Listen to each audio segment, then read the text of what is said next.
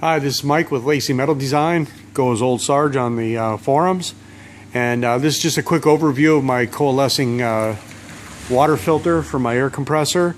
Um, just last week I was able to locate this, uh, this second 80 gallon tank on Craigslist, which just by sheer coincidence uh, is the same exact tank that's uh, on my compressor.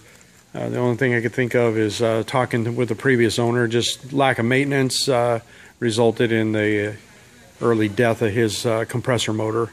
Uh, so I lucked out for $100. Got another 80 gallon tank. So before I get started, just want to want to do a little disclaimer here. If you are not really confident in your welding skills, uh, it's better to just buy something commercial. this could result in some serious injury or death.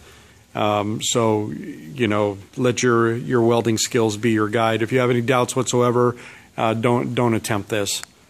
Okay, just a really quick overview. This is how I get my clean dry air over to my Hypertherm plasma cutter. Um, I come off the uh, cylinder head of, of the two-stage compressor with a half-inch pipe nipple and convert that over to half-inch copper flex tubing. And that comes over and into a air conditioning condenser coil out of a mid 80s um, Suburban. Okay, air comes in in the inlet side about a, about 180 degrees, 190 degrees off of that cylinder head, exits out the back, and uh, it's about ambient air temperature by that time. This really scrubs the heat off. Um, and then it enters this first coalescing filter and I, you can see I moved my uh, my my uh, pressure valve uh, that turns off the air compressor down here, and the reason for that is uh, uh, when your air compressor turns off, all the hot moist air that's in the cylinder head in that line drains down into your storage tank. So moving it here um, doesn't change the, the, the pressure that it turns off. It just uh, everything that's inside that cylinder head and in the line just drains into this filter then have a valve at the bottom that I could throw and plumbed into my sink. So, you know, once or twice a day, depending on how busy I am, um, I'll drain this filter out. Okay, off the top, this uh, copper line comes out, goes over into one more uh, water filter with an automatic drain, and goes into the first storage tank. At that point, I have fairly dry air. After uh, one or two days of uh, pretty heavy cutting, uh, when I drain off the bottom there, I'll get maybe an ounce of water.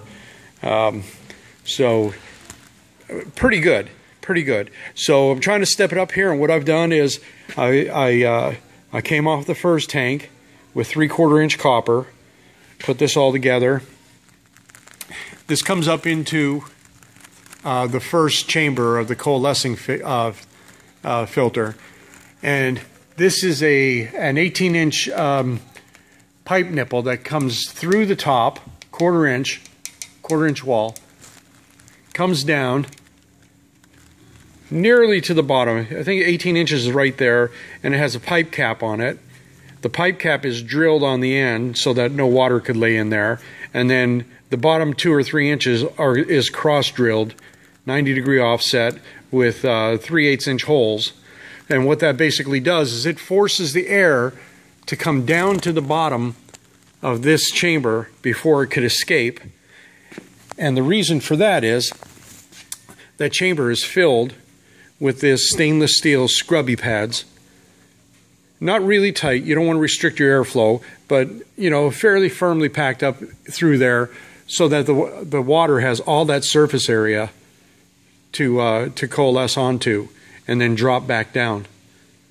So then as the, as the air works its way up through there, comes back out the top, drops back down to the bottom of this second chamber. And I have two drain valves here for the chambers. And then this second chamber is also filled with a, uh, the stainless steel scrubbies. Really inexpensive. Get a box full of them at uh, uh, Home Depot.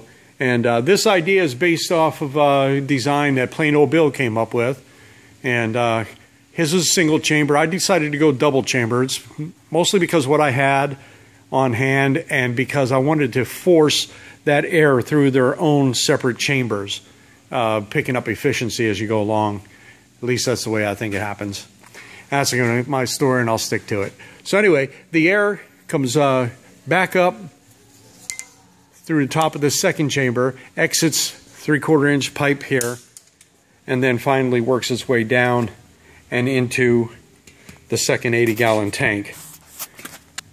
Then, um, of course, it exits out, the side and goes to my shop air a cutoff valve there. Uh, 100 and, 160 um, gallons of, uh, of air storage here. And um, I think at 125 psi, 80 gallons is 150 some odd cubic feet of air. So over 300 cubic feet of air stuffed in there. Um, I had one little weeper on the right hand chamber that I had to grind down and re-weld, and then two um, two joints that uh, I actually just forgot to tighten down. So I went back, tightened those down, and so far I've had air pressure in it uh, for about eight hours now with uh, no discernible drop on the gauge anyway. Uh, so make sure it's aired up before I leave and uh, check it again in the morning. But I think I've got all of the uh, did the soapy water on all the joints and everything. It's really tight. So I'll be cutting pretty heavily throughout the weekend and uh, I'll be running the table a lot. And um, I will report back next week sometime on uh, what I see coming out when I drain the first tank, second tank, and these filters to see uh, what kind of a job it's doing on uh, coalescing all that moisture out of there. So thanks for watching. If you have any questions, feel free to uh, post them on the on the video on the comment section there, or uh, contact me out on Plasma Spider. I'll be glad to answer any questions you have. And thanks for watching.